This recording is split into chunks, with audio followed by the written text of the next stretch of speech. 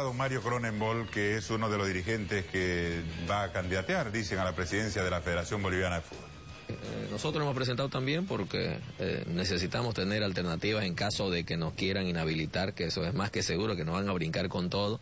Mario Cronenbol anunció que el presidente de Baiza, Marcelo Claure, y su persona serán candidatos en las elecciones de la Federación Boliviana de Fútbol. Hasta donde yo sé, hasta ahorita tenemos, acabo de hablar con Guido Loaiza, nosotros ya presentamos nuestra carta a las tres y cuartos.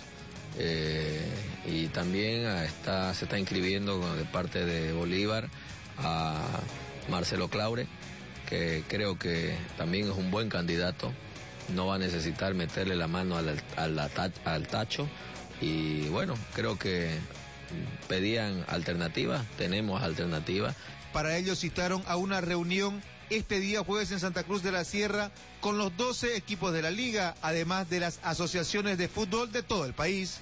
Eh, y el día jueves a las 10 de la mañana en la liga vamos a ya hablé con, con Happy Peredo, va a estar también presente, donde vamos a invitar a las asociaciones, a los demás presidentes, para eh, presentarles nuestro plan de trabajo.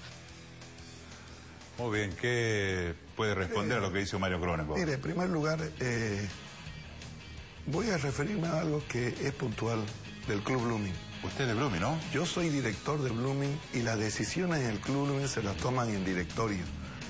Y yo respeto muchísimo a mi presidente, porque el presidente tiene las atribuciones que el estatuto le brinda, pero estas decisiones se las toma en directorio y en conjunto. Don Happy Peredo no va a asistir a la reunión que don Mario Cronenbol dice, y han mentido, y siguen mintiendo. Ellos dijeron que eran siete, los firmantes son cuatro. Han llegado a un quinto porque firmaron a último momento. Está bien, esos cinco.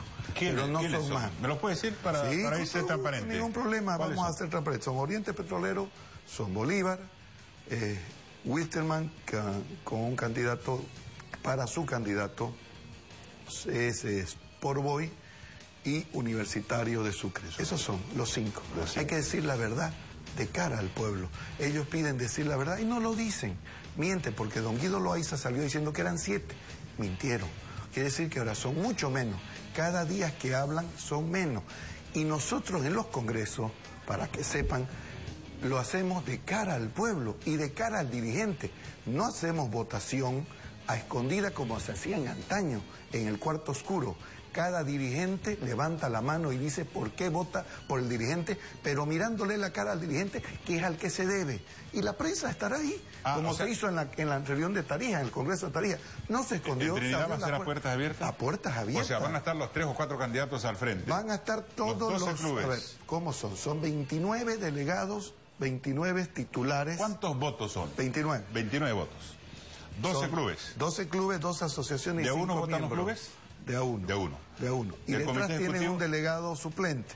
¿ok? Y cinco miembros del comité ejecutivo. ¿Los cinco el presidente no un vota. voto nomás del comité ejecutivo. Cuatro votos del comité ejecutivo y el presidente no vota. Solo dirime en caso de empate. Ya. ¿Ok?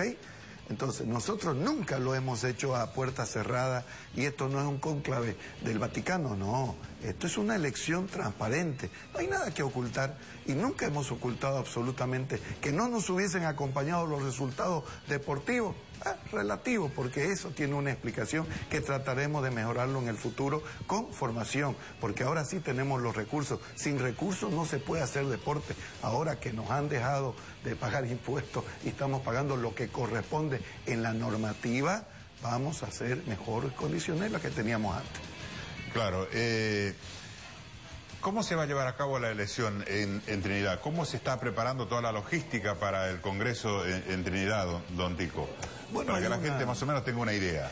Ahí va a ser en un salón de la cooperativa, creo, de teléfonos, si no me equivoco.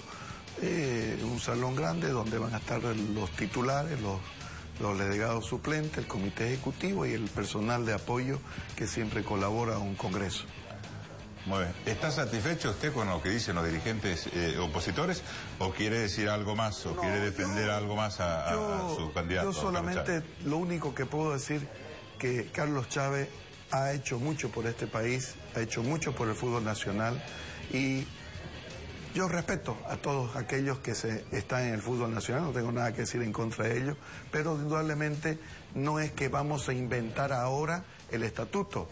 Por si acaso, para aquellos que puedan ser inhabilitados, el estatuto está vigente hace cuatro años, eh, lo hemos renovado, modificado en muchas oportunidades en Congreso, no en el Comité Ejecutivo de la Federación, todos han firmado y todos están de acuerdo con cumplirlo. O sea que quienes se ponen a jugar en el marco de estos estatutos deben respetarlo. De lo contrario, si no los respetamos de entrada, ni siquiera los leemos, creemos que los primeros en no respetarlo somos aquellos que nos presentamos sabiendo que estamos haciéndolo mal.